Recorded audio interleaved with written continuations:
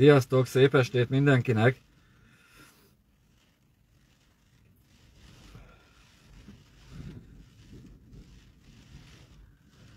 Elnézést kérek mindenkitől a késésért.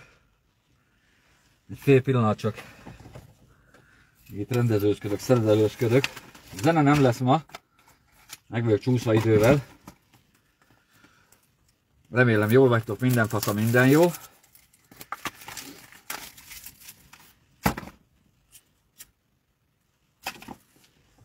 Meg fogom fordítani a kamerát, csak kis türelmet kérek tőletek, jó? Meg fogom fordítani, szavamat adom. Múlt héten uh, egy találós kérdéssel köszöntünk el egymástól. Azt beszéltük, hogy mondjátok meg nekem, hogy van-e még egy olyan magyar alkotmánya az országnak, amiben az van benne, hogy minden hatalom a népé. Ugye a 8931-es, vagy ahogy mi ismerjük,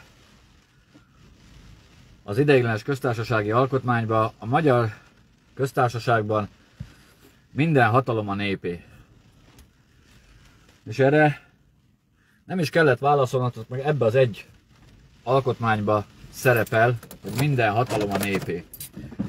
Aztán egy óriási csalódás vette nálam kezdetét, ugyanis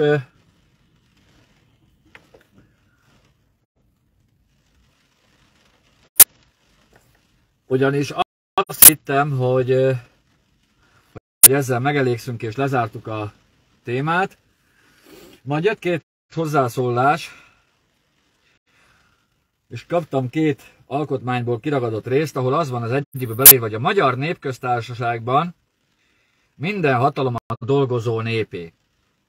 A város és falu dolgozói, így folytatódik a mondat, nem kívánok most ebbe belemenni. Majd, hogyha valaki ezt ilyen felületesen vette, akkor azt mondta, hogy minden hatalom itt is a népé, a dolgozó népé. Igen ám, de ugyanezen az alkotmány, és majd ki fogom keresni nektek azt a paragrafust, az szigorúan szabályozza, hogy ki is a dolgozó nép. A nyugdíjas, a betegszabadságon lévő, az ápolásra szoruló, a sorkatonai szolgálatot töltő, a tanuló diákok, nem tartoztak bele a dolgozói népbe. Nem tartoztak bele. Ugyanezen alkotmány ki is mondja, ez a 49-20-as, ahogy mindenki ismeri, ugye ez a sztálinista alkotmány. Aztán küldtek még egyet, az államhatalom kizárólagos forrása és birtokosa a magyar nép. Ugye ezt is küldték, ez a 46 évi első törvénycikk. Forrása. Nem azt mondja, hogy minden hatalom a népé, hanem forrása. Az alaptörvényben is az van, hogy a hatalom forrása a nép. Az nem ugyanazt jelenti, gyerekek, hogy minden hatalom a népé. Az nem azt jelenti. Lehet erről beszélni ezerszer, kétezerszer, nem azt jelenti. A megfogalmazáson nagyon-nagyon sok múlik. Erre egy történet jut eszembe, hogy a Székely bácsi eljön Budapestre, de megkéri a komáját, hogy még Budapesten tartózkodik abban a néhány napba, vigyázzon az állataira, meg a kedves feleségére. Jó van, komán menjél, csak hát én gondját viselem a jószágnak, az asszonyra meg majd felügyelek. Aztán a parasztbácsi elmegy Budapestre, intézi már az ügyeket, komája elrendezte az állatokat, sétál haza, azt látja ám, hogy a koma asszony kézen fogva egy katonával megy be a hotelba. Elszalad. Postahivatalba mondja a kisasszonynak, hogy sürgönyözni szeretnék. Parancsoljon, lehet. Táviratot föl tudunk venni. Gyere komám haza, mert dugják a feleséged. Ha, ne haragudjon, hát azt mondja, ilyent én nem adhatok közzé, hát ezt kinevetnek bennünket, meg hát tiltja a szabályzat. Gondolkozik a koma, gondolkodik, Tisztelt komám! Etel a hotelbe, csücsül a fotelbe. Katona hitelbe, hatol be etelbe. Fehér nemű lefelé, hentes áru befelé, szőrszálak össze-vissza, édes komám, gyere vissza. A megfogalmazás, ugye, amit beszélünk, a megfogalmazás. Az egyikben konkrétan leírta, hogy dugás van, ebben nem írta le konkrétan, csak körülírta. Az ideiglenes alkotmányban minden hatalom a népé. Ami azt jelenti, hogy az alkotmányozási hatalom is a népé. Nincs kizárva az alkotmányozás a nép kezéből. Nincs kizárva. Az, hogy aztán később 2016-17-es évben utólag a kollégista fiúk mit jegyeztek bele az alkotmányba, az ideiglenes alkotmányba, azzal nem kell foglalkozni. Ugyanis 2012. január 1-től viszont alaptörvénye van az országnak. És felolvasnák nektek valamit, mert szerintem ez megint mindent elmond arról, hogy ha fel tudom olvasni persze, és fel tudom olvasni. Ugye ilyen még nem is volt. A technika az ennyire barát legyen, és már utána fordítom is meg a kamerát, jó? Fél pillanat türelmet. Még keresnem kell cuccost. Ha megtalálom, ugye? Na, ó, meg is van. És akkor utána felolvasom nektek, hogy halljátok is, hogy miről van szó, hogy ezek a fiúk, ezek milyen fasz a fiúk.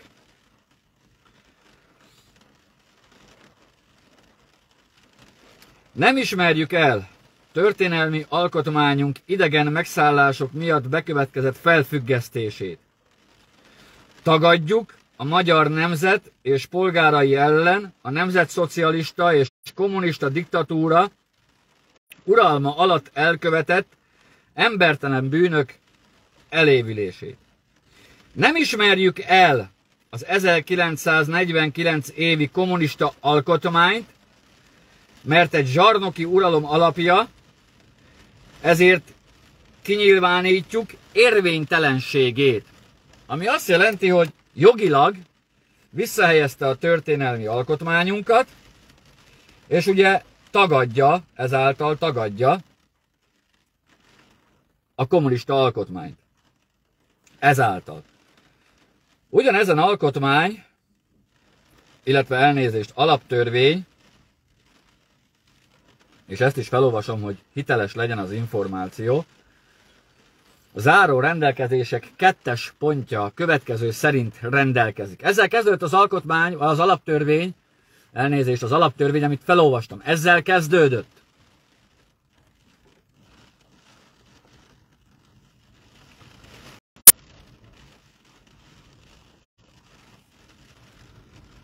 A kettes pont a következő. Ezt az alaptörvényt az országgyűlés az 1949 évi 20-as törvény, tehát a kommunista, sztálinista alkotmány, 19-es paragrafus, paragrafusának harmadik bekezd, bekezdésének A pontja, és 24. paragrafus harmadik bekezdésének alapján fogadja el. Előbb megtagadja a kommunista alkotmányt, majd a záró rendelkezésekbe ez alapján fogadta el az alaptörvényt. Záró rendelkezések 9-es pontja. A feladat és hatáskört a Magyar Köztársaság alkotmányáról szóló 1949 évi 20-as törvény szerint gyakorló szerv, jogtudója, jogutódja és a feladat hatáskört az alaptörvény alapján gyakorló szerv. Tehát ismét visszahelyezi a 49-20-ast, amit már megtagadott. Olyan összevisszaság van az alaptörvény körül, hogy nem az alkotta meg, nem úgy alkotta meg, és nem azt alkotta meg, amit meg lehetett volna alkotni. És az a legnagyobb probléma, hogy ezt valamennyi politikus éppen olyan jól tudja, mint ti. Lehet ezt tagadni, teljesen mindegy, lehet tagadni, Viszont egyre több ember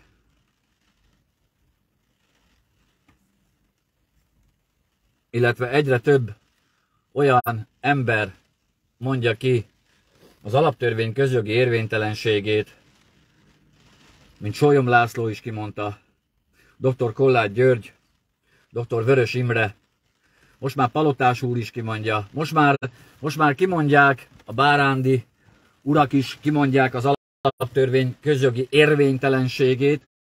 Egyre több politikus, Gyurcsány elvtárs is kimondta, Vadai Ágnes is kimondta, Torockai László is kimondta, egyre szélesebb az a, az a kör, és nem csak a politikai kör, aki kimeri mondani az alaptörvény közjogi érvénytelenségét. És van itt a kezemben egy levél, egy alkotmánybírói külön vélemény, amelyet nem fogok felolvasni csak rövidített formában, de előtte előtte engedjétek meg, hogy beszéljünk itt a a tüntetésekről, a sztrájkról, és ami most kiforróban van, ez a tanág, diák megmozdulások. A tanár-diák megmozdulása, én csak annyit szeretnék mondani és üzenni a tanároknak, hogy a szakszervezet az az íróasztal mögül próbálja el, illetve próbálja megoldani a problémákat. Nem muszáj nektek azért az utcára mennetek, mert néhány szakszervezeti vezető kiszáll a medencéből, mi, mi alatt medencébe töltött ideje alatt megszavazza, hogy ő neki mennyi pénz jusson, és utána hozzátok áll tüntetni a csilli-villi színpadon. Ezek az emberek most már hála Isten egyre több tanár szemébe megbuknak. Aztán tegnap én köszönöm azoknak a tanároknak azt a lehetőséget, ahol benne lehettünk többet magammal egy Zoom konferenciába. Hallottunk nagyon-nagyon érdekes dolgokat, nagyon-nagyon jó ötleteket a folytatást illetően. Aztán ma kicsit úgy lelombozódtam, mert, mert az egyik résztvevő ma csinált egy négy perces videót, ahol kicsit belekeveredett a saját mondandójába. Nincs ezzel semmi probléma, de kiigazítanám. A sztrájkhoz való jogod, az biztosítva van, és azt ki is fogom tenni az élő adás után, és csak a ti rátok vonatkozó két paragrafust fogom kitenni, és akkor döntsétek el, hogy tudtok-e sztrájkolni, vagy nem tudtok sztrájkolni. Mindenhol, a kórházakban, a metróknál, a közlekedési vállalatoknál, mindenhol a alapvető működést az biztosítani kell. Ez nálatok is így van, tehát ebédeltetni kell a diákokat, vigyázni kell a diákokra, ezzel semmi probléma nincsen. Viszont addig, amíg ti azt nyilatkozzátok, főleg a mai nap fényében nyilatkoztátok, hogy hogy ti tárgyalni akartok egy illegitim hatalommal, aki meg se fog benneteket hallgatni, maradjunk annyiba, aki a felelősségét még a mai napig Brüsszelre tolja, és azt mondja nektek, hogy azért nem kaptok pénzt, mert Brüsszel visszatartja, ez sem igaz, teljes egészébe, és ettől a kormánytól várjátok ti a megoldást, addig ne várjátok azt, hogy a ti pénzetekért egy széleskörű társadalom összefogjon. Majd amikor a nemzet egységét érintő problémák miatt mentek az utcára, amikor fölvállaljátok valamennyi érintett szervezet dolgozó problémáját, na akkor, akkor számíthattok olyan sikerre, amely ezt a mocskos rohadt hatalmat lesöpri a politika színpadáról. Addig, amíg ti a pénzért akartok kimenni, és most már a szülők, mert ma kezembe jutott egy levél, ahol a szülők egymás között beszélik meg, hogy nem engedik a diákokat a tanártüntetésre, mert ezzel csak a tanár problémája lesz megoldva, viszont nem lesz megoldva a gyerek problémája, nem lesz olcsóbb a cukor a boltban, nem lesz olcsóbb a tej, és nem lesz kevesebb az infláció. Ezt egy nagyon-nagyon értelmes szülői csoport hozta létre ezt a csoportot, és én nagyon köszönöm szépen, hogy engem oda bevettek, Semmi közöm nincs a szülőkhöz, én nem ismerem a szülőket, de hallottak rólunk, és most egy órát beszélgettünk a mai nap folyamán, és elmondtam, hogy itt akkor lesz siker, amikor a tanár a nemzet egységért fog kiállni, amikor a tanár a saját tanár kollégájáért nem állt ki, amikor a tanár nem áll ki, hogy 11 fokban vannak a gyerekek, akkor ne várja azt a tanár, hogy a szülők a diákokat hozzájuk engedjék. Vagy ne várja azt a tanár, hogy sokan legyenek a tüntetésen civilek, akik majd őket támogatják 10, 20, 30, 40 ezer forintért. Tehát én értem a problémátokat, csak az a probléma, hogy itt nem csak ti véreztek, hanem veletek együtt egy egész ország. És ha ti nem akartok kormány dönteni, vagy rendszert váltani, mert belekeveredtetek a fogalomba, az legyen a ti problémátok.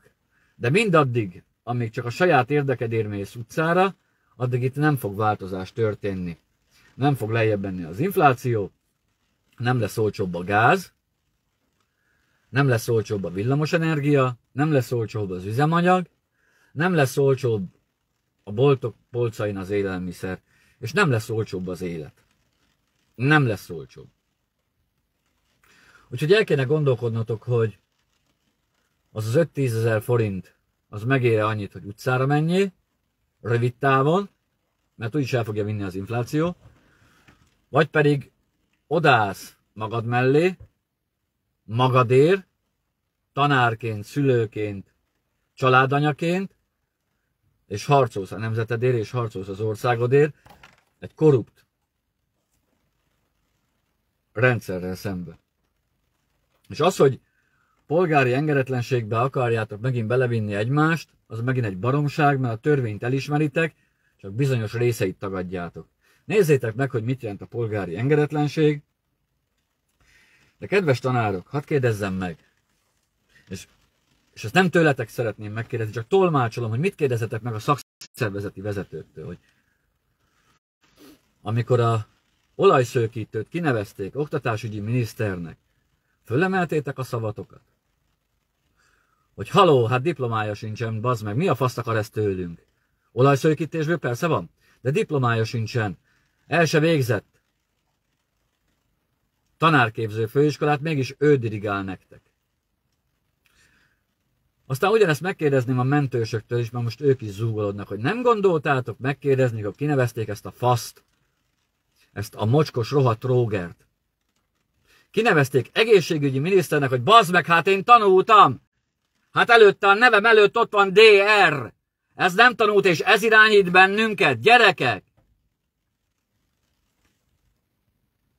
Ne haragudjatok, csak így megkérdezem hangosan, hogy ez az értelmiségi réteg, aki fölülről egy ráelőtetett köcsögöt eltűr. Mentősök, mi van veletek? Ti is megelégedtek, hogy majd valamikor júniusban talán emelünk, ha Brüsszel fizetett? Ti is?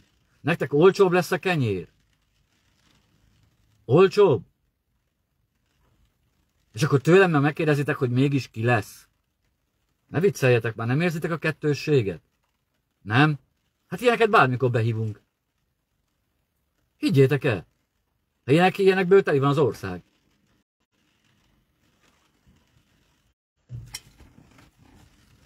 Az ilyen köcsögökből.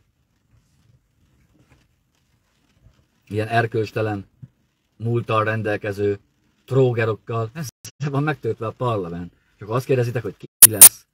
Hát így nyugodjatok meg, hogy ezeknél, ezeknél sokkal-sokkal jobb. Aki felelősséget vállal, barátom, érted is. A családod él is. Aki átláthatóságot, elszámoltathatóságot biztosít ebbe az országba.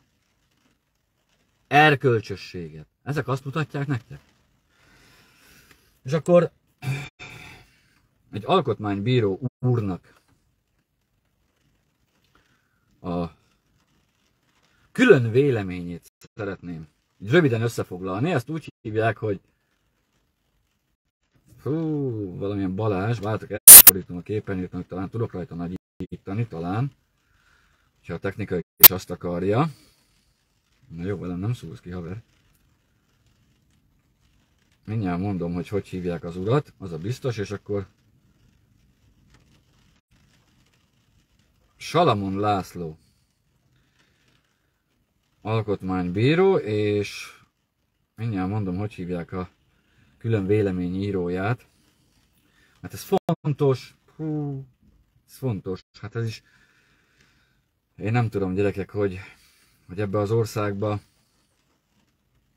Sah, dr. Sahanda Balázs, alkotmánybíró úr külön véleménye, amit így röviden összefoglalok. Nem én foglaltam össze, csak van egy kedves kolléganő, aki, aki vette a fáradtságot, hogy a lényeg ennek a külön véleménynek, és ez hallgassátok tanárok, mert ez nektek szól, hogy a gyermek művelődéshez való joga sérül, ha a tanárok sztrájkolnak, így az alaptörvény szabályozhatja a sztrájkhoz való jogukat bizonyos esetekben. A tisztelt Uram! Én most önnek címzek, de ezt, ezt a, ezeket a kérdéseket szerintem már meg is kapták e-mailbe, hogy ön a külön véleményét mondja el, és én szeretném, hogyha nyilvánosan felelne arra, hogy az alkotmánybíróságnak jelen pillanatban de a vészhelyzetekkel terhelt rendszerben milyen szerepe van. Mert önök gyakorlatilag ilyen paprika Jancsit játszanak, bólogató János helyett újra bólogató Jánosok, ugyanis az alkotmánybíróságnak jelenleg nincsen jogköre. Hogy mire mondom? Hát ami törvényt kihirdetnek, önök nem vizsgálhatják, mert életbe lépett. Aztán hadd kérdezzem meg, hogy ugye ha jól emlékszek, Súlyok úr is közjogi méltóság lett. Ugye ezt azért hangsúlyozom ki, ezt a közjogi méltóságot, mert sokan nem tudják, hogy az alaptörvény miért közjogilag érvénytelen. Ugye ezt azért hangsúlyozom ki. Én örülnék, hogyha kapnánk önöktől arra is választ, amit ugye közé is fogunk tenni, hogy milyen kérdésekkel illettük önöket, hogy mi alapján tekintik 2012. január 1-től érvényesnek az alaptörvény. Melyek azok a jogszabályok, amelyek alapján önök, mint alkotmánybírók, az alkotmánybíróságon, benne van a nevében is, hogy alkotmány, önök ugye érvényesnek tekintik. Illetve hadd kérdezzem meg, tisztelt alkotmánybíró urakat, közjogi méltóságot, hogy mikor a gyerek 11 fokba sínlődik az iskolába, az a alaptörvény értelmében nem alaptörvény ellenes? Hadd kérdezzem meg, amikor a tanuló, tanuláshoz való joga ezáltal sérül, mert 35 perces órák vannak, akkor az nem alaptörvény ellenes? Azért, mert az önök felettesei, megbízói, az Isten tudja kicsoda, a magyar kormány ellopja a pénzeket. Az nem alap alaptörvény ellenes, a korrupció, amelyet vizsgálni kellene az alkotmánybíróságnál, az nem alaptörvény ellenes? Hadd kérdezzem meg! Csak ilyen félvárról én, mint tanulatlan sofőr, hadd kérdezzem már, mert nekem már csipi a korrupció a szememet. Önöket nem zavarja ott Budapesten, az alkotmánybíróságon, mert ugye még alaptörvény bíróság sem lehet, ugye? Benne van a nevében, hogy alkotmány. Amit ugye utólag bejegyeztek, akkor miért nem mondta azt, hogy az alaptörvény ellenes az alkotmányba 2016 7. havába, illetve 2017 6. havába bejegyzéseket tenni. Utólag! Hogy az ország alaptörvénye az megegyezik az alkotmányjal. Ez melyik bírónak a fejéből pattan ki? Hadd kérdezzem meg! Csak ilyen, ilyen kérdései, egyszerű, józan paraszti észre föltett kérdéseim vannak, hogy amikor maszkhasználatra kötelezték a gyermekeinket egy kamuvírussal, akkor nem mondta esetleg, hogy a rendkívüli Covid intézkedési jogrend az alaptörvény ellenes, mert nincsen bizonyítva, hogy a Covid az létezik?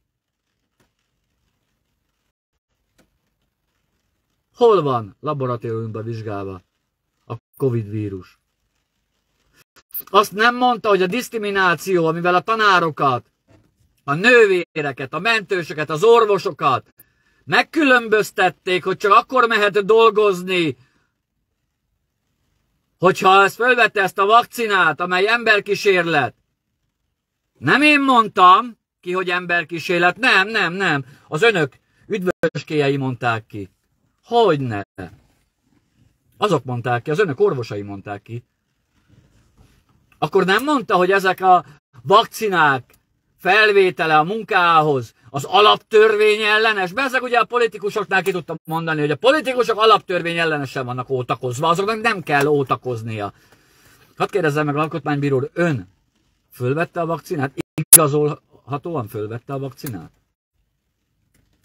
Hadd kérdezzem meg. Ön is úgy járt be dolgozni, hogy fölvette a vakcinát? Súlyok úr is úgy jár be dolgozni? Hadd kérdezzem meg. A többi alkotmánybírósági dolgozó is úgy jár be dolgozni, hogy fölvették a vakcinát? Igen? És a mi belügyminiszterünk, elnézést, belügy, egészségügyi és oktatásügyi miniszterünk is fölvette a vakcinát? Hadd kérdezzem meg. Ezekre is tetszik tudni majd válaszolni? Mert ezek olyan érdekes kérdések, így az alaptörvény ellenességgel kapcsolatban, ugye? Alaptörvény ellenesek, ugye? Hát ez hogy, hogy lehet? Hogy az én gyerekem 11 fokos terembe sínylődik. Amíg ön, ugye a 22 fokos terembe semmit nem csinál, mert ugye jogkör nélküli alkotmánybíróság van ebben a rendkívüli jogrendben. Mert Orbán elvtárs azt mondja, hogy hónap reggel kék szemüveket ki kell írtani, akkor az sem alaptörvény ellenes, mert rendkívüli jogrendben azt csinál a magyar miniszterelnök, amit a elnézést, a Magyarország miniszterelnöke, nem a Magyar Köztársaság, a Magyarország miniszterelnök azt csinál, amit akar. Önök meg, mint valami bólogató Jánosok, mert köztársaság elnökünk volt a bólogató János, ugye nem tudnak mit kezdeni. Aztán lehet, hogy 20 év múlva kiderül, hogy mi, kék szeműek, jogellenesen lettünk kivégezve, akkor majd kap a családunk egy levelet, hogy hősi halált haltunk, és szobrot kell emelni minden főtéren a kivégzett kékszeműek emlékére. Ugye? És akkor ezzel jól végeztük dolgokat, önök teljesítették az alkotmányos jogot, mert elnézést kértek a családjainktól, tehát erre lehet számítani a diktatúrában, ugye? Az nem alaptörvény ellenes, hogy Boszniának nemzetstratégiai érdeke miatt, ma mondta Gulyás úr, őt idézem, próbálom szó szerint idézni, hitelt nyújtunk. Milyen nemzetstratégiai kérdésünk van tisztázatlanul Boszniával? Azt az nem alaptörvény ellenes, hogy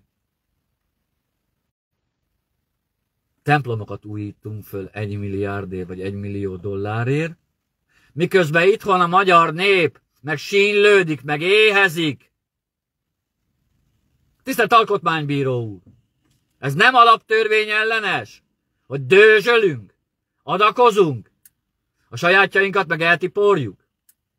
Vagy a legújabb, ha hát ez a legfontosabb, kereskedők, ugye, hogyha nincsen kint az áru, akkor büntetjük őket, ez nem alaptörvény ellenes, hogy a kereskedőket kötelezzük az árstoppos termékek árulására, a nagykereskedőknek szabad kezet adunk, annyiért adják a kereskedőknek a cukrot, olajat, lisztet, amennyire akarják. Ez nem alaptörvény ellenes, ez nem diszkrimináció. Tisztelt alkotmánybíró úr, hadd kérdezzem meg, csak egy félvárról, hogy az önök tevékenysége ott az alkotmánybíróság épületébe, az nem alaptörvény ellenes? Hogy a bólogató János szerepét veszik át, az nem alaptörvény ellenes? Hadd kérdezzem meg, csak egy félvárról.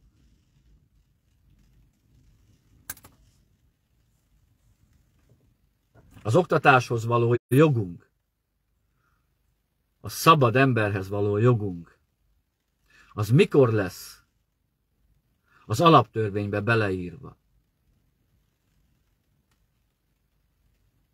Hogy a szabad akaratomat, azt mikor használhatom az alaptörvény értelmében, meg, meg tetszik tudni fogalmazni. Hadd kérdezzem meg. Ezek el fognak menni írásba is az úriembernek, és megnézem, hogy még van-e még valamilyen téma, amit fú, még nem érintettünk, mert elnézést a csúszásért gyerekek, de hogy a őszinte legyek, a hócipőm teli van az esővel. És akkor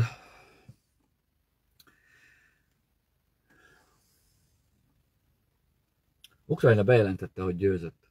Külpolitikával folytatjuk. Jó, de csak kettő perc erejéig. És mindjárt megpróbálom ezt így kihangosítva lejátszani nektek, ha sikerül. Ha sikerül, már pedig úgy néz ki, hogy sikerül. Nem hiszitek, benne volt a tévébe. Még mielőtt azt mondjátok, hogy konteós vagyok. Benne volt a tévébe, hogy Ukrajna győzött. Nagy ováció volt. Ha, ha hogyne? Maga az ukrán elnök jelentette be. Előre? Csak adjatok kis türelmet, hogy el tudja mindítani. Hogy lássátok, hogy mennyi hülye van. Ó, nem csak itt, mindenhol.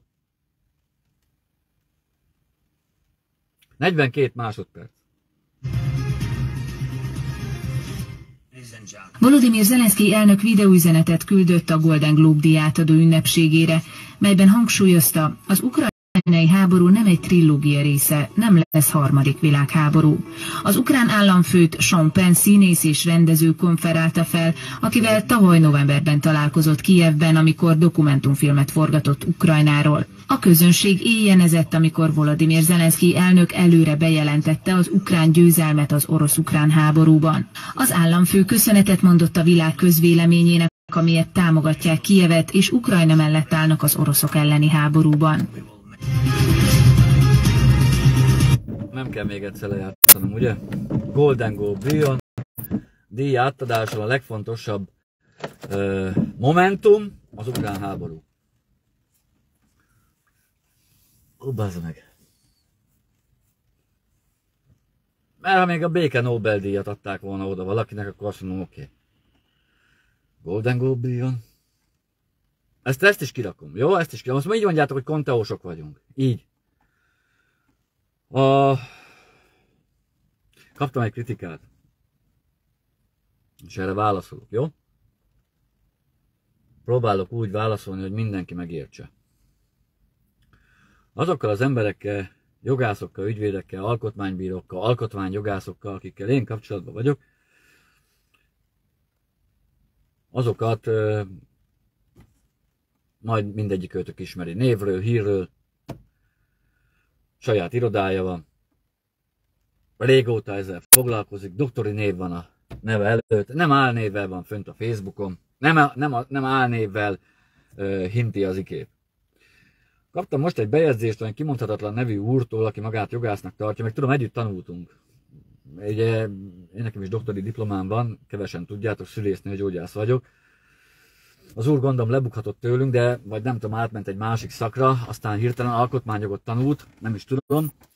Na mindegy, most megcáfolta, megcáfolta, hogy, hogy benne vagy, nem veszik el a tulajdonjogot, nyugodjon meg mindenki, nyugodjon meg mindenki, nem veszik el a tulajdonjogot, és hogy baromságot meg konteót állítunk, majd a következő, és ez, ez meg lett osztva egy másik csoportban, húsvér jogász, így, így szól a neve, azt sem tudjuk, hogy hívják, de húsvér jogász.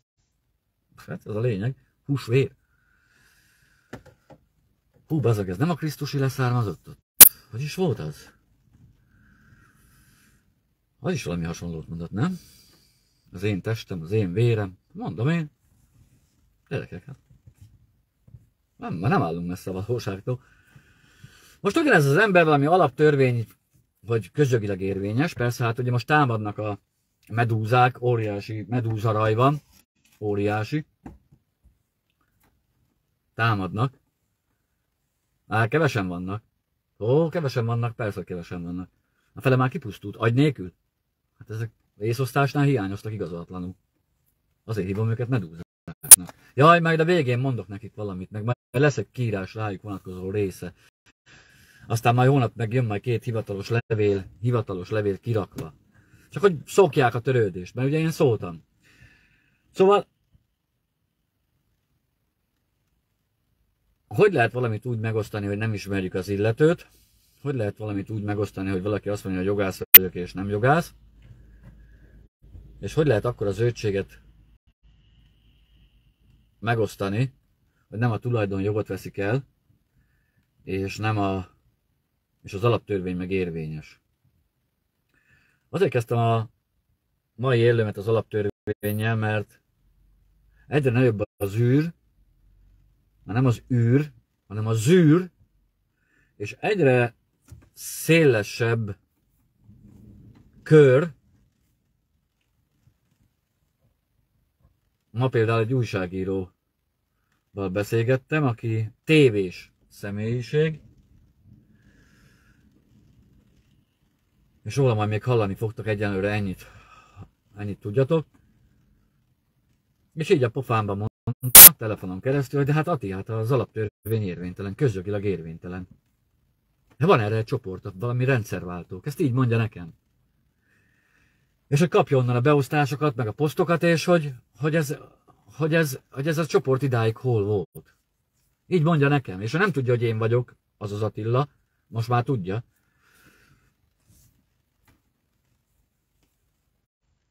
És akkor átküldtem neki jó pár anyagot, és akkor küldött cserébe vissza olyan anyagot, ahol az a riporter, aki interjút készített dr. Vörös Imréve, Kollágy Györgye, azt hiszem Magyar Györgyel is az alaptörvény érvénytelenségéről, és később elismerte ő is, hogy az alaptörvény közjogilag érvénytelen. Most ugyanaz a kollega a, az interjúkat szedi le sorba, próbálják leszedni a világhálóról, mert beállt a Fideszbe ő is. Már nem tévézik, már nem riporter, de szedik le szépen sorba a videókat, úgyhogy próbáljátok meg majd lementeni ennek a három embernek a nyilatkozatát, mert előbb-utóbb el fognak tűnni, mert ugye a hatalom nem szereti, hogyha valaki ezt emlegeti. Nem szereti.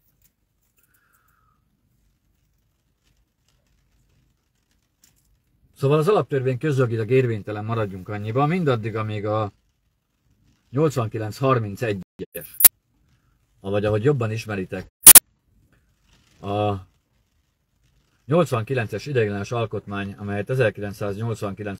október 23-án Szűr Mátyás hirdetett ki, alapján nem tudjátok megvédeni az alaptörvényt, már pedig nem tudjátok megvédeni, maradjunk annyiba, hogy az alaptörvény közjogilag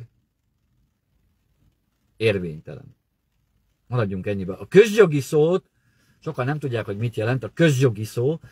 Ugye vannak ilyen közjogi méltóságok, mint a miniszterelnök, belügyminiszter, alkotmánybíróságnak a legfelsőbb vezetője, köztársasági elnök, ugye ezért hívják őket közjogi méltóságnak ugye ezért hívják, és ugye az már nagy szégyen, hogy Sólyom László volt köztársasági elnök, volt alkotmány jogász vagy bíró is érvénytelennek, közjogilag érvénytelennek tartotta az alaptörvény. Egy közjogi méltóság is kimondta, hogy egy szarra való.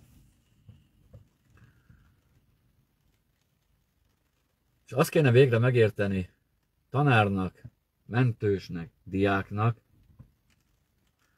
hogy az egyéni érdekek ideje az már réges-régen lejárt. Az nem most, hanem tíz éve. Addig, amíg nem állunk oda egyként egymás mellé, addig ki lehet hívni a diákokat, a szakszervezeteknek, azoknak a szakszervezeteknek, akik elfogadták a 10%-os bérpótlék emelést a 20%-os béremelés helyett. Óriási különbség ám. Óriási különbség a 10%-os bérpótlék és a 20%-os béremelés közti különbség. Az olyan, mint az alkotmány meg az alaptörvény közti különbség. Csak így próbálom érzékeltetni.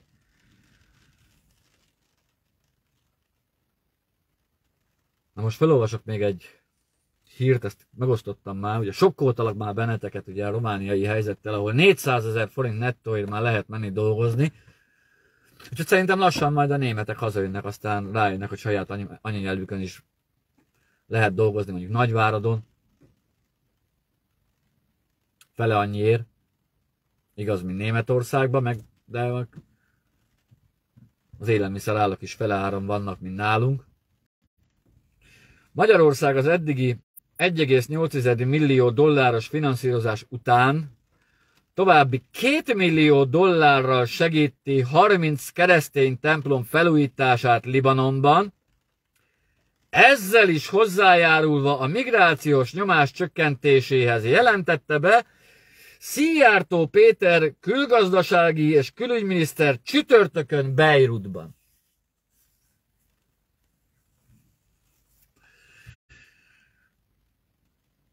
Ti meg nyomorogtok. Ti meg Európa legdrágább árát fizetitek a gáznak. Az egyik legdrágább árát fizetitek a hazai villamos energiának. Európában a legdrágább árat fizetitek üzemanyagba.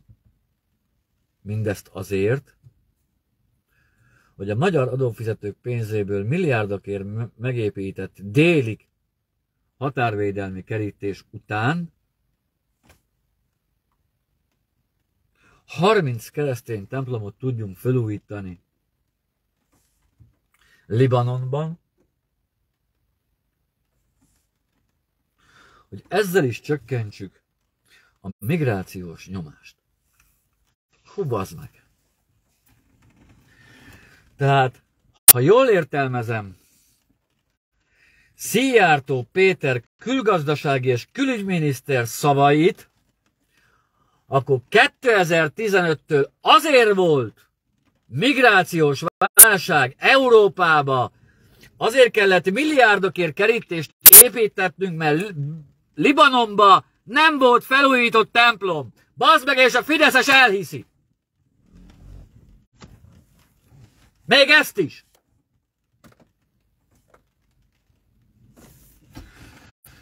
És elhiszi,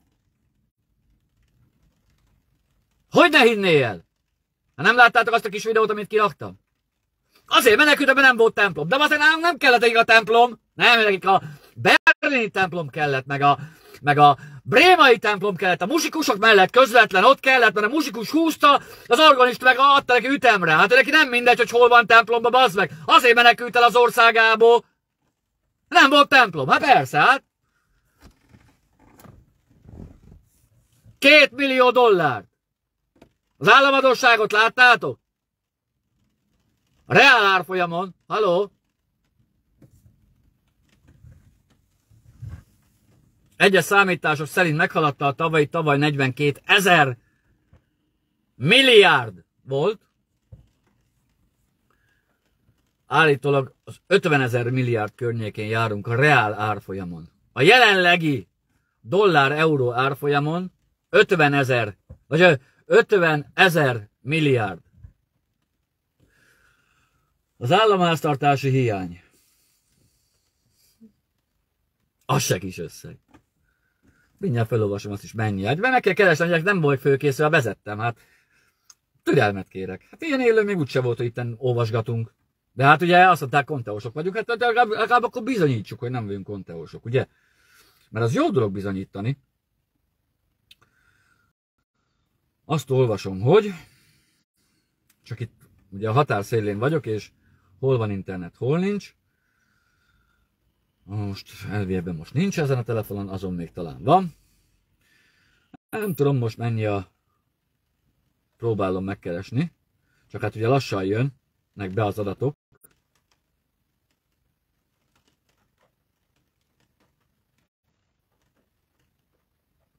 Mennyit is írtam ki?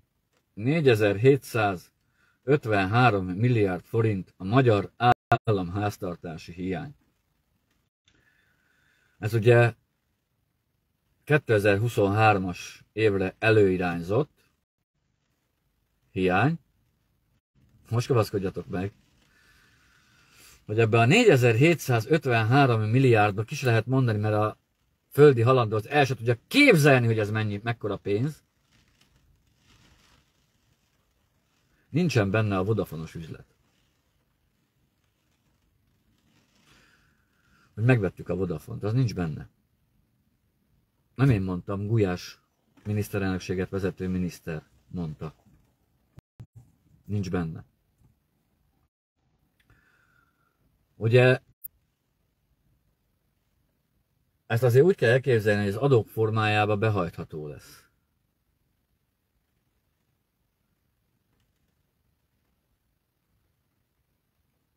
Ugye azt tudjátok, hogy egy ekkora összeg, ami történelmi csúcson van, azt valamivel pótolni kell. Főleg annak fényébe vegyétek alapul, hogy most Boszniának is adunk, Libanonnak is adunk, mert az Isten meg, meg Ukrajnának is kell adni, persze. Már nem is értem, minek fizettünk elő, amikor bejelentette az elnök, hogy megnyerték a háborút. Nem is értem. Nem tudom, az oroszoknak szóltak esetleg, hogy ez a... nem tudom, Putyin mit szólt hozzá, hogy bejelentették, hogy ő veszített. A Golden Globe díját adó. Nem tudom, mit szólt Putyin. Elsírta magát, szegény otthon. A Kremble. Ott, ott. Ott elsírta magát a Lenin szobába, vagy mi történt vele? Nem tudjátok? Nincsen friss híretek? Hogy Oroszországban mit szóltak eme a hírhez, hogy ők a vesztesek? Nem? Hát kíváncsi lennék Putyin arcára, amikor ezt így felolvasták neki ezt a hírt. Titkos szolgálatok, hogy ez a másik narkós ökör mit nyilatkozott előre. Hát, hogy Ukrajna nyert.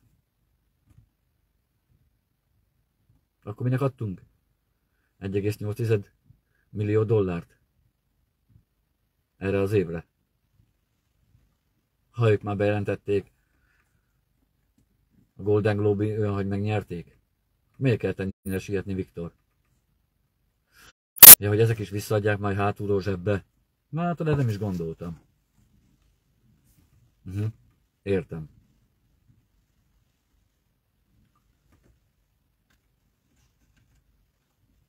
Nem tudom, nem furcsa dolgok ezek, ugye? Szóval ekkor a történelmi hiányjal indítjuk a 2023-as évet, ennek azért lesz ám bőtje.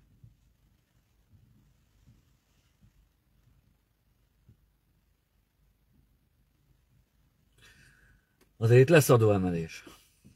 Mert ugye emlékeztek rá, hogy mikor csatlakoztunk az Európai Unióhoz, én nem emlékszek már a számokra, hát ha itt közületek valaki emlékszik, már nem emlékszek tényleg a számokra, hogy a GDP arányosan mennyi százaléknak mennyi százalék lehetett maximum az állam háztartási, ez nem azonos az államadósággal. Az állam háztartási hiány az a GDP arányos nem tudom hány százalék lehetett. Aztán miután Görögországnál bejelentett, hogy baj van, óriási baj van, mert másképp számoltak, meg hazudtak, meg néhány Európai Uniós országból is, régi Európai Uniós országnál is bebizonyosodott, hogy másképp számoltak, mint Dánia, meg nem tudom melyik volt a harmadik ország, akkor ugye finomítottak ezeken a számokon, majd jött a Covid, aztán valahogy ezek a számok ugye eltűntek, akkor már mindegy volt, hogy mennyi az államháztartási hiány a GDP-hez. Ezt azért valahonnan elő kell venni. Hát ugye honnan fogják elővenni, amikor már rögtön itt kapásból mondtunk 5 millió dollárt, ami már innen hiányzik. 5 millió dollárt, azt meg kell számolni, hogy hány ezer ö, kemény magyar forint, Ugye 400-zal kell azt hiszem számolni a dollárt is, vagy pontosan nem tudom mennyivel kell számolni, ki kéne számolni ez a 5 milliárdocska, ez nekünk mennyibe fáj, ugye, dolgozó embereknek. Amit csak így adogatunk, be ezek ti nem kaptok támogatást, ugye nincsen vissza 13.-14. havi fizetés, ugye nincsen, nincsen söralátétes vagyonbevallás, csak nekik, ugye? Nincsen meg a Mit is szoktak mondani ezek? Mit is, mit is termelünk? Mit is akarunk? Nem tudom, most nem jut eszembe a szó, hogy mit is mondod mindig a Fidesz, hogy mit szeretnének, milyen országot szeretnének.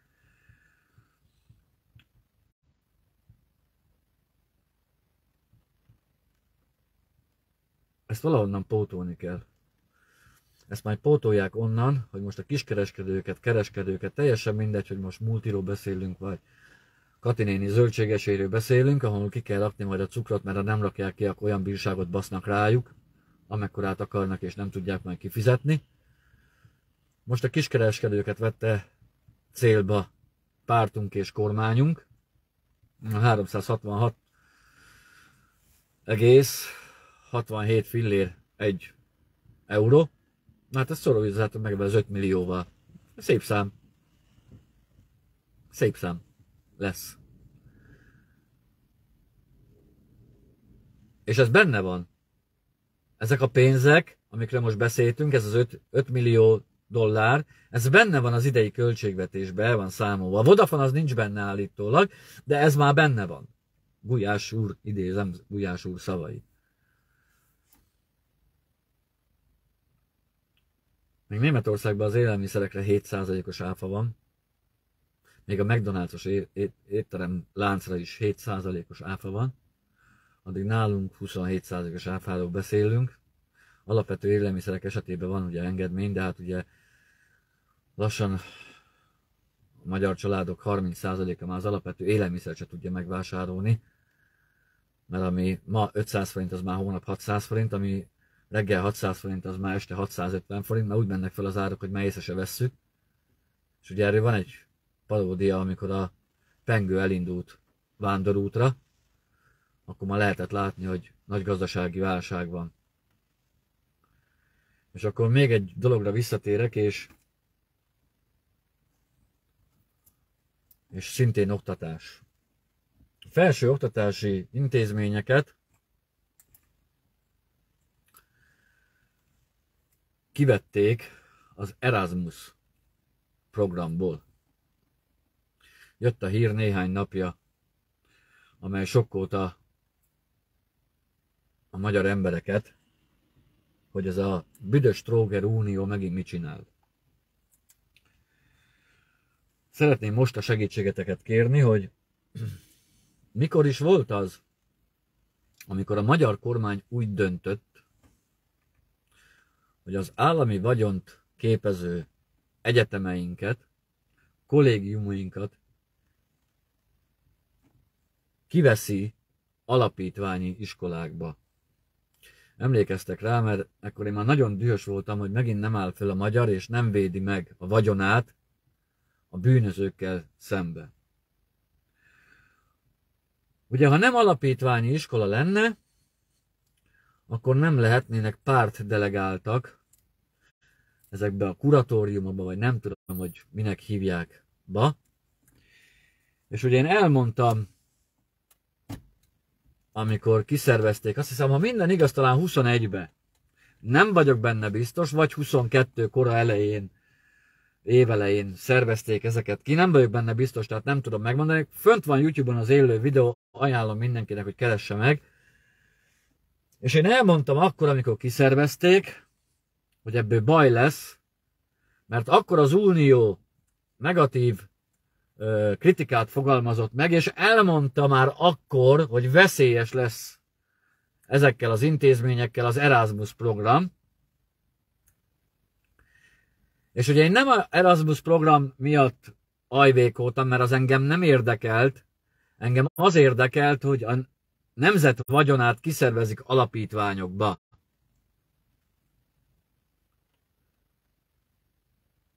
És bejött. Úgyhogy ennyire vagyok konteós. Bejött, mert akkor már az Unió, akkor már az Unió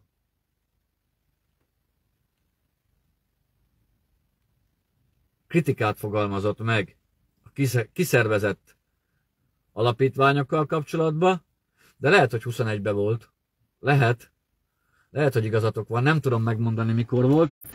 Akkor is volt valami diák tüntetés, azt hiszem akkor a színművészetivel kezdődött, ha jól emlékszem.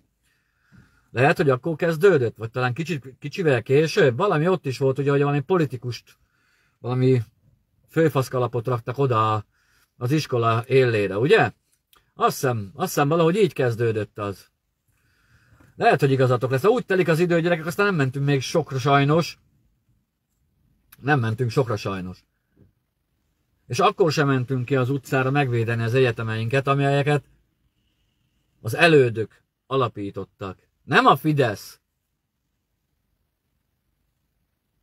önkényuralmi rendszeréhez alapították hanem valamennyi őtök gyerekének, unokájának a jövőjének biztosítására.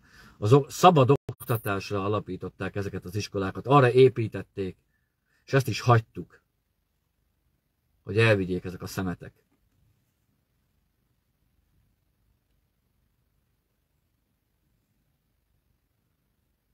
És ha azt hiszitek, mindezek után, hogy ez a gépezet majd le fog állni, aztán majd elcsendesedik, nagyon-nagyon tévedtek. De én annyit kérek, hogy a ne csak az új ingatlan nyilvántartási törvényt elemezzétek, hanem a hozzátartozó polgári törvénykönyvet is, és mindezt a történelmi alkotmány szemével elemezzétek ki, úgyhogy beszélhet bárki bármit, beszélhet, mert hogy is van? Megtagadtuk a kommunista alkotmányt, megpucsoltuk az ideiglenes alkotmányt, létrehoztunk egy alaptörvényt, de gyakorlatilag kinyilvánítjuk a történelmi alkotmányunk érvényben lévését, mert azt mondjuk, hogy nem ismerjük el a német megszállás alatt a történelmi alkotmányunk felfüggesztését. Ha nem ismerjük el annak felfüggesztését, akkor azt ismerjük el, hogy a mai napig életben van. Ha a mai napig életben van, ajánlom ezeknek a jogászoknak, elnézést, húsvér jogászoknak, hogy vedd már fáradtságot, Tubi, aztán nézzed meg, hogy a történelmi alkotmányunk értelmében kinek volt tulajdonjoga, jegyzem meg halkan, hogy a Szent Koronának, neked mit volt a nagyszádon kívül, csak birtok jogod volt. Jó reggelt, adjon Isten mindenkinek! Történelmi alkotmányunkat tanulmányozzátok, hogy neked csak birtokjogod volt, mert a tulajdonosi jogkör a szent koronáé volt. Mert ami a föld alatt, a földfelszínen és a levegőben található, annak a szent korona a tulajdonosa. Ez a probléma. Kinek milyen gyanúja van? Mindjárt elolvassuk-e. Kinek milyen gyanúja van?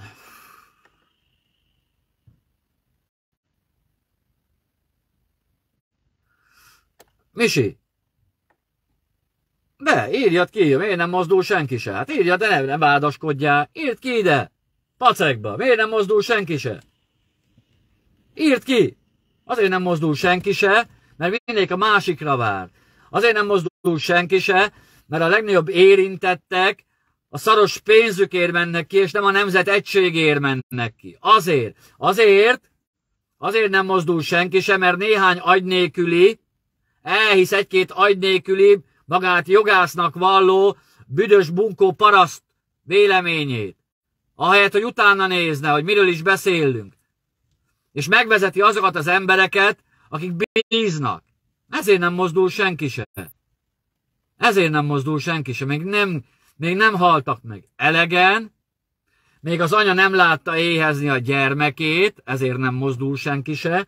Még az apának van átmenetileg munkája, de majd most jönnek keletről az olcsó munkaerő, majd most jön kerítés ide vagy oda, de jön ám, majd akkor talán ébredeznek a családapák is, hogy baj van, bazd meg, majd talán ébredeznek az anyák is, hogy nem lesz élelem a gyereknek, ugye? Aztán amikor éjjel hal a nemzet 10%-a, mert a 2023-as évet elindítani úgy, hogy a KSH adatai szerint 350 ezer gyerek, már 350 ezer gyerek nem jut megfelelő napi háromszori étkezéshez, és ezt a szülő végignézi, barátom, az az nemzet egészére szégyen. Megválaszolom én helyetted is. Ez a bicskanyitogató. Meg az a bicskanyitogató, amit kiraktam videót, hogy néhány agynélküli ökör szerint a magyar állapotért nem a magyar kormány a hibás. Nem, bazd meg, Brüsszel. Nem. Meg Putyin, meg Saddam Hussein, meg Milosevic, meg a faszom tudja, kit lehetne még fősorolni, ja, és Gyuri bácsit is, meg Gyurcsány, az elmúlt nyolc évével, bazd meg. Ezek az agynélküli retardált barmok, ezek még most is elhiszik ezeket. Nem a magyar, nem, nem feltétlen Magyarországon a legnagyobb infláció, nem bazd meg, tényleg nem. Nem. Nem. Mondja ő, aki a községet ábláját nem hagyta még el, mert át van húzva pirossal, bazd meg, pirossal, mint a bikáknak, hogy eddig, ne tovább, eddig garázdálkodj. Ezeknek az embereknek van szavazati joga, érted? Misikém. Ezeknek. Ezek szavaznak arról, hogy a te családod mekkora szarba éljen. És ezek kiabálják azt agy nélküli faszként, hogy nem akarnak baloldalt, amikor Orbán elvtárs van, meg kövér elvtárs van bent az a parlamentbe. És azt mondja, nem akar baloldalt. Na ez a probléma. Ez a probléma, Misi. Ez a valós probléma. Csak ezt ki is kell tudni mondani. Ez a valós probléma. Ezzel kéne szembesíteni őket. Hogy ide beütetném az egyik öreget, azt elhoznám Németországba, gyere bazd meg, nézem milyen árak vannak. Mert a lefényképezem azt mondja, hogy nem friss a fotó, bazd meg. Érted? Ha ott, ha, ott hajtom a, ott tartom a joghurt mellett a Zeitungot, ami rajta van a dátum, azt mondja, hogy hamisítom a felvételt. Mert az az igaz, amit Orbán mond, ez a probléma. Hogy nem hiszi el, amit lát, hanem azt hiszi el, ami a hazugság képernyőjén kijön a tévéből. Mert Orbán fasz a gyerek. Igen. Én is azt mondom, hogy fasz a gyerek. A kutya fasz a bazd meg. Az. Az. Az. Szóval várom a húsvér jogászok álláspontját a 89-31-es alapján, hogy akkor hogy is van? Hogy lett érvényes az alaptörvényetek? Arról beszéljetek. Arról beszéljetek. Aztán várom ugyanezen húsvér jogászok. Nekem van olyan jogászom. Napi kapcsolatban vagyok vele. Figyelj, úgy hívják, hogy doktor, XY doktor. Na válaszold meg, hogy miért van mögötte két doktor. Előtte is, meg mögötte is doktor, doktor. Miért van? Hát, biztos busúban vúsni három pálcán volt. Az egyik doktor jött, a másik lelőtte, azt összerakta, nem? Tudom én. Gyerekek, én azt hittem, hogy ennél több eszetek van. Mert az, hogy téged a gapcsimókussal bevittek egy csoportba, tátott szájjal a faszerdőbe, azt már nincsen fogad, mert már kiverték, azt játszanak veled, mint cica az egérrel, csak még nem veszted észre, hogy hűítve vagy abba a csoportba, az a te bajod. Csak arra vigyázzál, hogy a kimondott mondataidnak a saját közösségedre felelősséggel tartozó.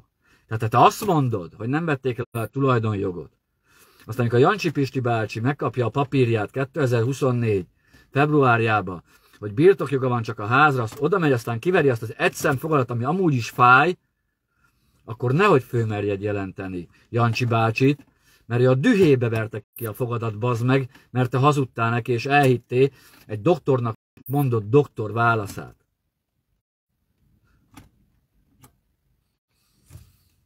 A lódoktor is tudám műteni. Lovat. Néha még embert is, ha kell. Nem mindig jár sikerre. Vigyázzatok, doktor. Benne van a nevébe. Orvos! Az, hogy állat vagy ember, az nem másodlagos. A sebészt ne akarjunk beküldeni fülörgégészetre, mert aznak az rögtön metszeni akar. Néhány ember ráférne nyaktól főfele. Vigyázzatok! Passágot nem kell állítani. Már kivezették a jogszót. Már kivezették. Jog szót. Nem létezik. Még nincs a törvény életbe. Még nincs. Még lehet lépni emberek. Ezt halkan jegyzem meg, mert mindig valami után akarunk kimenni az utcára. Még lehet lépni. Lehet. De kérdezzetek meg egy jogászt, hogy az alábbi mondat, amit fölolvastam, mivel kezdődik az alaptörvényt, azt ő hogy értelmezi. Jaj, ne Facebookon keresd meg! Nem fog válaszolni, ne is csodálkozzál rajta, tudod, mert ez egy olyan furcsa hivatás, hogy pénzért adnak tanácsot. Oda viszed neki, kérsz tőle időpontot, oda, aztán kifizeted a 40-50 ezer nettós óradíját, hidd el, hogy fog tanácsot adni. De ha gondolod, adok neked olyant, aki, aki esetleg még telefonon is fog neked tanácsot adni, és ugyanazt fogja mondani, amit én. És alkotmány jogászról beszélünk. A barátnőd annak idején napi kapcsolatban volt vele. Küldjétek át neked az alaptörvény eme cikkét. Kérjetek tőle jogi segítséget, mit fog mondani? Azt fogja mondani, hogy ezek, ez alapján, a mondat alapján visszahelyezték a történelmi alkotmányunkat. Azt mondhatjátok, hogy köztársaság van meg, hogy államformáról kell dönteni. Tényleg? Ne basszál ki. Most is köztársaság van ám. Döntöttél róla? Tényleg? A névváltozásról döntöttél? Igen? Arról, hogy templomokat újítsunk föl, döntötté? Hogy Ukrajnának pénzt adjunk, döntötté? Hogy Boszniának pénzt adjunk, döntötté? Ennyire fognak téged megkérdezni. Pont ennyire lesz, a szarják a véleményeteket. A 10 millióért. És azért azt ne felejtsük el, hogy ugye 2021 decemberében láttátok az élő videókat. Kim voltam ugye Boszniába. És hogy micsoda vendégszerető emberek. És hogy szeretik a magyarokat. És hogy egyként kiálltak, és náluk nem volt Covid, emlékeztek rá, hogy cigarettáztak bent az éttermekben, nem kellett maszk, utca mellett sütötték a birkát meg a bárányt, ott van róla rengeteg élő videó. Emlékeztek rá?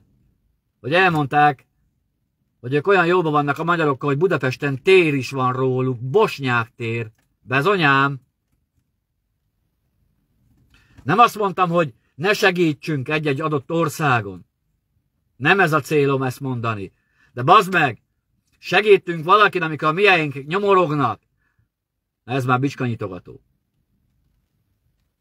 És megmagyarázzák, hogy bár lejjebb ment az energiaár, de ti nem fizethettek, meg 71 néhány százalékon áll a tározó, bazd meg, ha én kimegyek, mint miniszterelnökséget vezető miniszter, kormányinfót tartani, akkor legalább azt mondom, hogy 73 százalékon van, 70 valahány százalékon van. Milyen kormányinfo ez? Tip mix, bazd meg. Bezony. Aztán, ugye tudjátok, hogy egy kormányzati oldalakról levők tiltva. Most már az összes tévétársaság letiltott, Telexen szoktam nézni, ugye, hogyha meghívnak a Telexes fiúk, halkan jegyzem meg, hogy máma elfejtettetek meghívót küldeni. Én nem tudtam látni a kormányinfót, de, de látták a kormányinfót. Hogy hívják ezt a szóvivő kis csajt, ezt a diszpintyet, másik, mi a Alexandra? Szent királyi, azt hiszem, ugye? Úgy hívják Szent királyi Alexandra, nem akarok ám baromságot mondani. Nem akarok baromságot mondani, de azt hiszem úgy hívják. Bejön. Tudjátok, mi volt az első mondata? Művelt asszony. Azt hiszem asszony, ugye? Férje is van.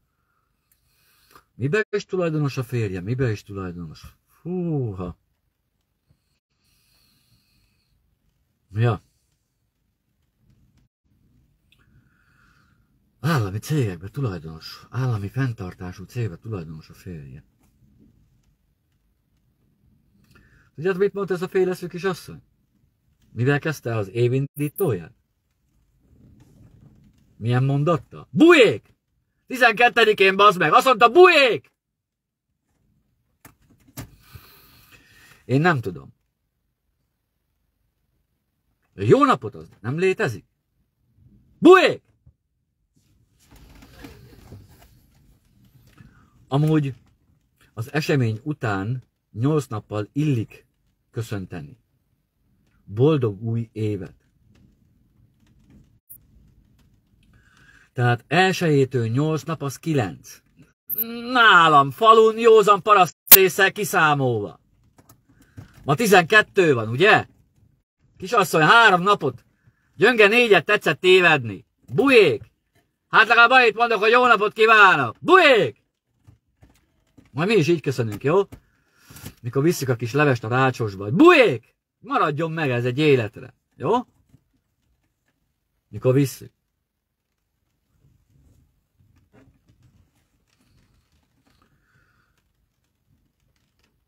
Hát van baj, ugye?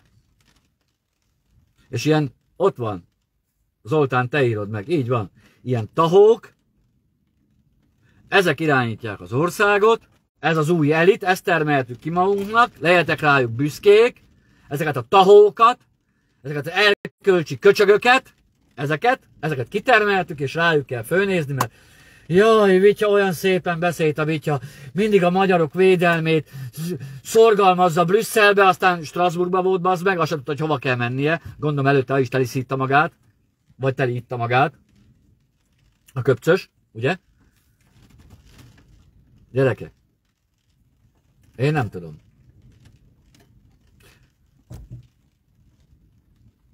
Nem értem. Azt mondta, Gyuri ezt mondta, bujék! Ezt mondta. Így van, ő a honvédelmi miniszter. Persze, én tudom. De hát érdekeltsége van ám. Vagy volt. Tudnám mondani a címét, de rengeteg rendszerváltó ott dolgozik. Azért nem mondom. Hát én tudom, hogy milyen van. Hát hogy ne tudnám? Át kell papírozni. Hát én tudom, hogy milyen van. Milyen cége van. Csak nem mondhatom, mert 30 rendszerváltó ott dolgozik. Azt nem akarok velük kibaszni. Vagy reggel kezükbe adják a munkakönyvet, mert a Bertalan elmondta. Hát hogy ne?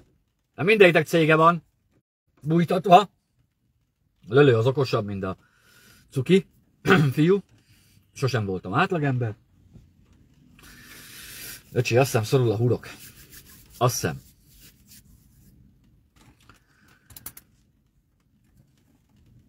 Azt hiszem a nagyját kivasaltuk. De én...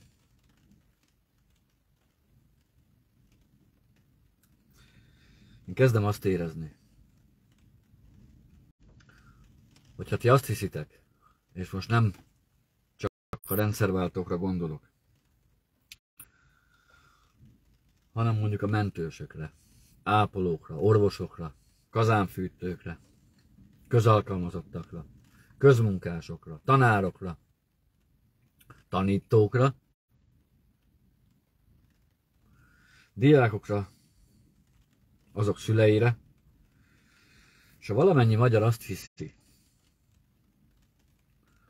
hogy az megoldás, hogy ide dobtok egy szívecskét, meg egy like jelet, aztán ezzel megoldottunk mindent, akkor barátom, jó lesz, hogyha elkezdesz spórolni fejfára.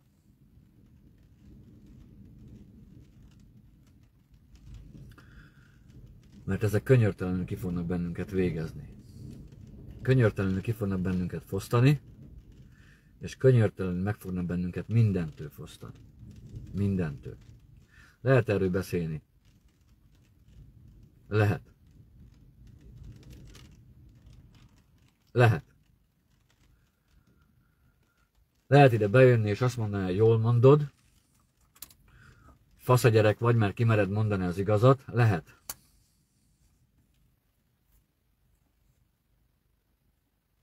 Viszont azzal itt nem lesz rend. Gyerekek, ne vitatkozzatok, jó? Arra kérlek. Haló? Haló? Nyugi van, jó?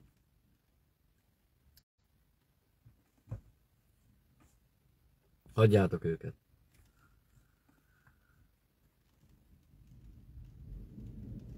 Akkor lesz változás, ha teszel is érte.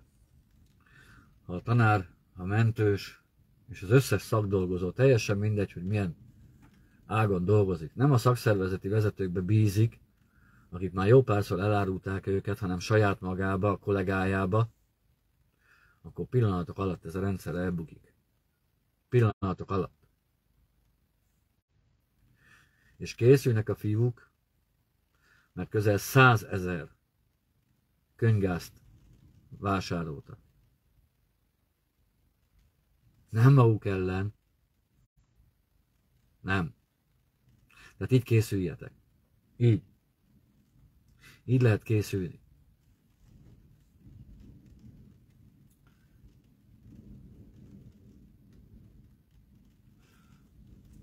Döntő többségetek szülő meg nagyszülő.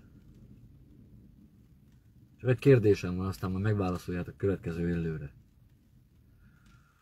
Magadnak ilyen jövőt tervezte 1989-es úgynevezett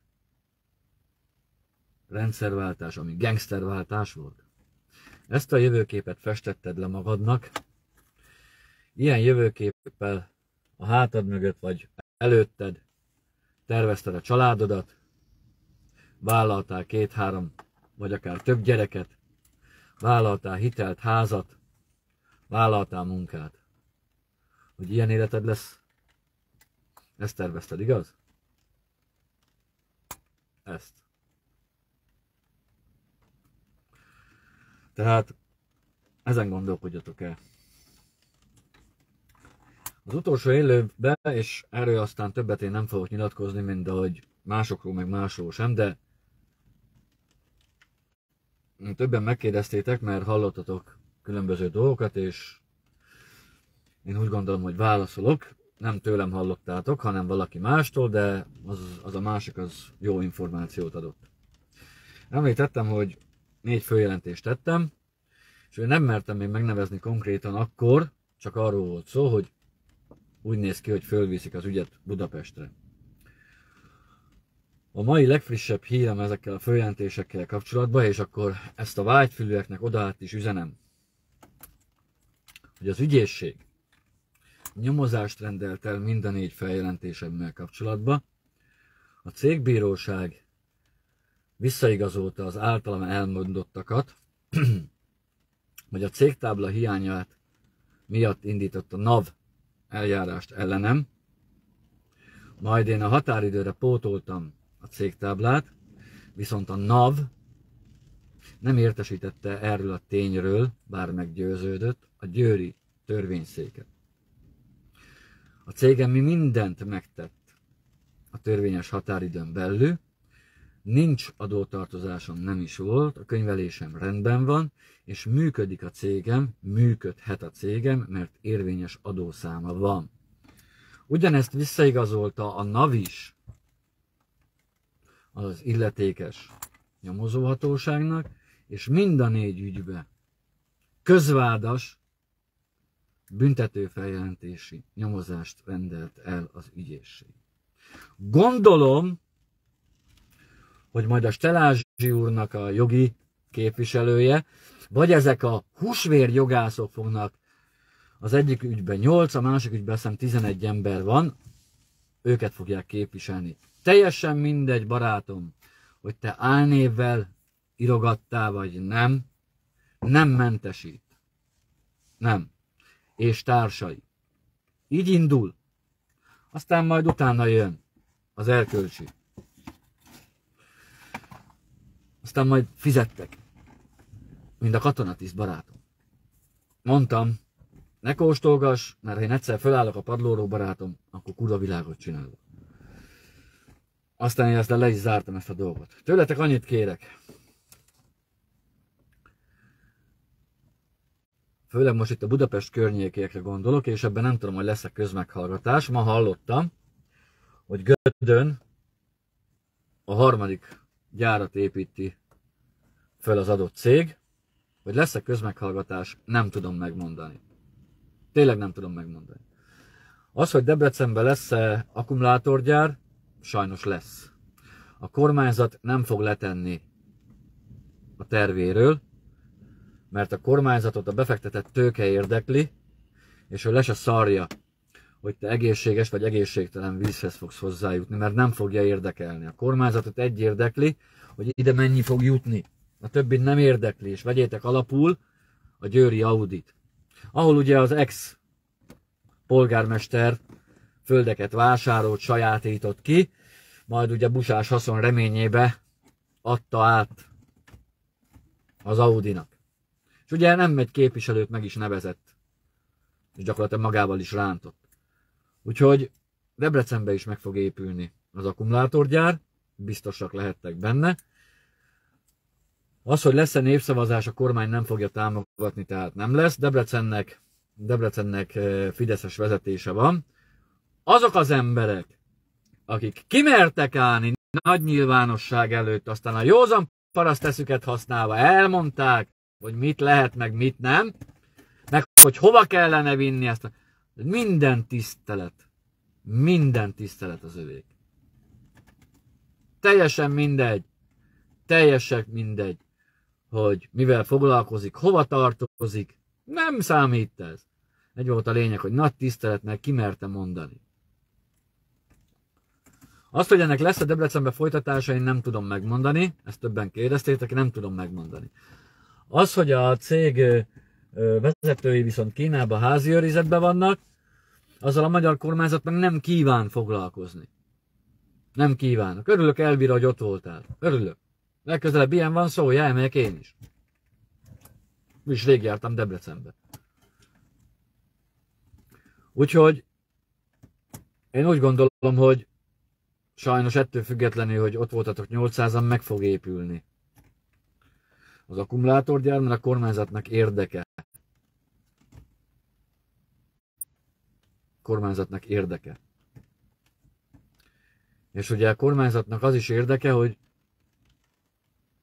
és ezt nem én mondtam, hanem az adott miniszter mondta, hogy nem szabad ide bevezetni ugye a Nyugat-Európáról beáramló létminimumot, minimálbért, mert hát oda az olcsó munkaerő.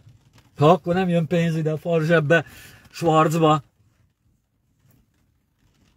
arra vagytok tartva, hogy szegénységben maradjunk.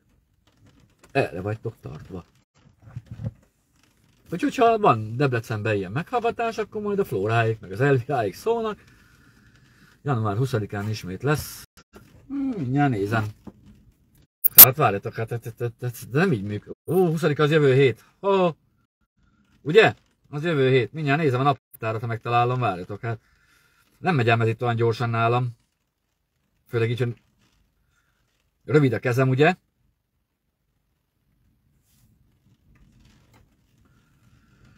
12-20. Hát, nem mondom, hogy nem lehetek otthon pénteken. Nem mondom. Nem mondom. Jó? Majd megbeszéljük. És akkor majd jövök egy médiás hírre, jövök majd egy másik hírre, amivel holnap egyeztetek. A következő élő 90%-ban nem egyedül leszek, erről fogok egyeztetni holnap és két helyszínen leszek itt, illetve YouTube-on, és megpróbáljuk lefedni úgy a, a közösséget, hogy minél nagyobb számba lehessen terjeszteni. És azt hiszem, hogy a, ha sikerül, akkor a jövő heti élő az lehet, hogy kicsit korábban lesz, meglátjuk, lehet, hogy kicsit korábban lesz, és akkor én alkalmazkodok vagy majd ő, még nem tudom megmondani, még egyeztetés, holnap délelőtt fogunk egyeztetni, tehát majd, majd beszélünk róla. De lehet, hogy nem is kettesbe leszünk, hanem lehet, hogy hármasba leszünk, de azért mondtam, kicsit időt adjatok erre, nem akarok előre menni a dolgoknak, mert mi nem beszéltünk. Az egyikkel beszéltem, ő a médiás, és hogyha sikerülne, akkor, akkor az egy nagy durranás lenne, mert mert ennek az embernek volt és van is neve a médián keresztül és ő nem pénzért akar ideálni, hanem a magyar emberek érdeke mellett. Én köszönöm megtisztelő figyelmeteket. Továbbra is, hogyha vannak ilyen sokkolni való híreim, akkor most sokkollak benneteket. Bár nem ez a célom. Nem ez a célom. De bízok benne, hogy értitek, hogy én miért raktam ki ezeket a híreket mert számomra azért bicskanyitogató, hogy 350 ezer gyermek nem jut napi háromszori étkezéshez. A nyugdíjakat 15%-kal emelte a kormány. 51 néhány ezer ember él 40 ezer forint környéki nyugdíjból, ők kaptak 6 ezer forintos támogatást nagy összeg, és ez mellett milliókat szórunk el a semmire. Most jelen pillanat egyes számítások szerint 1,5 milliárd forintjába kerül az adófizetőknek, hogy a jogszabályokban vármegyék legyenek írva, meg, meg át legyen keresztelve itt minden, És ez sem a politikai elit fizeti, hanem valamennyi magyarral fizettetik meg. Kívánok jó pihenést, szép álmokat, jó étvágyat a vacsorához, elnézést kérek a késésért, és továbbra is kívánok mindenkinek jó egészséget, nektek is, és valamennyi ötök családjának. Köszönöm megtisztelő figyelmeteket, Isten veletek, sziasztok!